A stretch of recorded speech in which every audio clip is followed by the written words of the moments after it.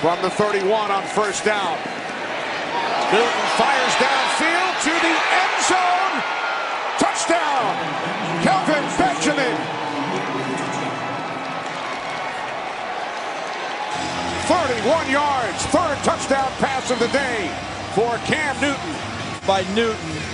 And look where he puts it. Out there over the defender, Darius Slay. One foot down, the second foot. He's fine. Now he's got to maintain all the way through as he hits the ground, the process of the catch.